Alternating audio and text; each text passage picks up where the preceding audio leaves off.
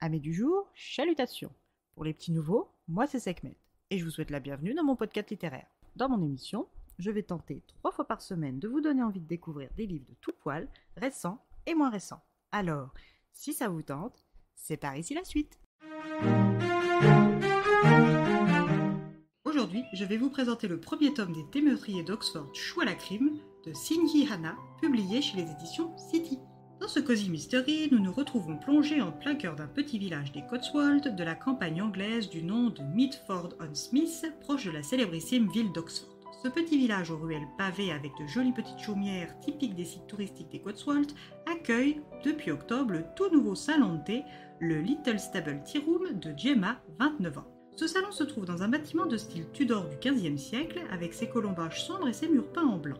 Avec son toit de chaume et ses pignons croisés, on aurait dit un cottage anglais représenté sur les boîtes de chocolat. À l'intérieur, le charme de l'époque a été préservé par Gemma au prix de l'intégralité de ses économies. Car oui, les dalles de pierre au sol, les épaisses poutres en bois assorties aux fenêtres à meneaux et la grande cheminée ont un prix et il est exorbitant.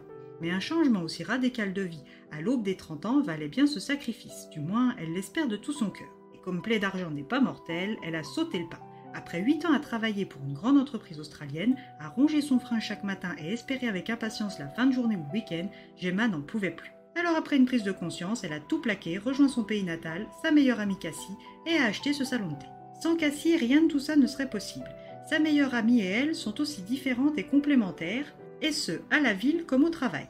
Elle est issue d'une famille bruyante de 5 enfants dirigés par des parents artistes, et Gemma est fille unique d'un couple middle class plus plus où l'ordre et le silence sont des commandements de vie. Elles auraient très bien pu rester de simples voisines de table en classe, mais non, elles se sont reconnues et plus lâchées, même avec un océan et des heures de décalage horaire. Une vraie amitié en somme. Mais l'amitié c'est bien, mais pour ouvrir un commerce de bouche ça ne suffit pas. Et c'est pile poil à ce moment-là que Wilson Fletcher et sa chatte Musly entrent en piste. Cet homme connu dans le village est un génie de la pâtisserie, mais est un timide maladif que seule la présence de la petite chatte grise, tigrée aux yeux verts, peut atténuer. Alors même si jumelé, règles d'hygiène et chat est compliqué, Gemma n'a hésité que le temps de goûter à ses scones, car oui, il n'usurpe pas son statut de génie de la pâtisserie. Avec une équipe complète, elle ne peut que réussir. Dans son établissement, on sert les meilleures pâtisseries traditionnelles anglaises. Scones, clot cream, sticky toffee pudding, hot cross bun, le tout servi avec du clé, English breakfast ou Earl Grey dans de la porcelaine à l'ancienne. Si avec ça les touristes et les locaux ne venaient pas, elle rendait son tablier.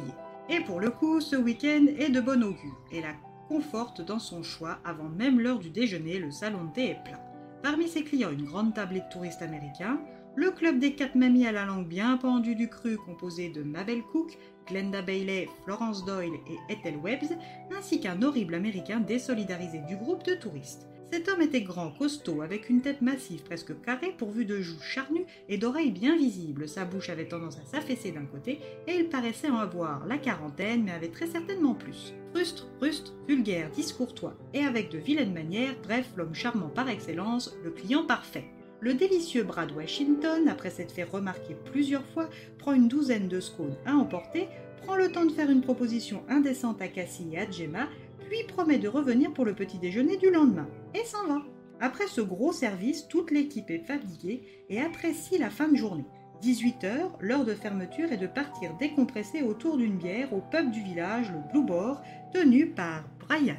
Cassie et Gemma vont y retrouver Seth, un ami de la fac d'Oxford, qu'ils ont tous les trois fréquenté et où ils ont tous les trois été diplômés. Gemma en littérature anglaise, Cassie en beaux-arts et Seth en chimie. Malheureusement pour les deux femmes, l'affreux client du déjeuner est lui aussi au pub et pour ne pas changer avec ce qui semble être un trait de caractère, en pleine dispute avec un habitué, Mike Bailey. Après une violente altercation, les deux hommes sont mis à la porte de l'établissement par Brian. L'afterwork se termine précocement pour Gemma qui doit dîner avec ses chaleureux parents qui vont encore prendre le temps de critiquer ses choix de vie, mais quand on a tout misé sur sa réussite professionnelle, il faut faire des concessions et retourner vivre sous le toit de ses parents avec ses règles en fait partie. Après un repas normal pour leur famille, elle part se coucher. Le lendemain promet d'être une longue journée, un dimanche avant la rentrée universitaire est toujours très touristique, donc rentable, mais harassante, donc dodo. Après une bonne nuit, elle arrive avec 30 minutes d'avance et a le déplaisir de voir à l'une de ses tables extérieures le grossier Monsieur Washington. Mais bon, un client est un client, elle ouvre donc un peu plus tôt, et quand elle l'invite à entrer, pas de réponse. Et pour cause, il est raide mort, un scone dans la bouche. Que doit-elle faire? Qui Brad Washington a-t-il énervé au point d'être tué? Pour notre plus grand plaisir de lecteur, moins d'un mois après l'ouverture de son salon de thé, Gemma doit résoudre un mystère.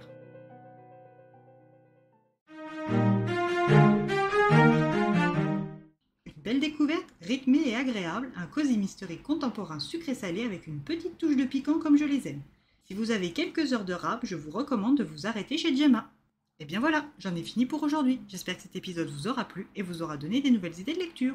Si vous souhaitez découvrir d'autres petits bonbons littéraires tout droit sortis de ma bibliothèque, je vous retrouve le samedi 1er juillet prochain pour un nouvel épisode. Si d'ici là je vous manque de trop, vous connaissez le chemin sur Instagram, les lectures de Sekhmet. Sur ce, chalut les amis et à la prochaine!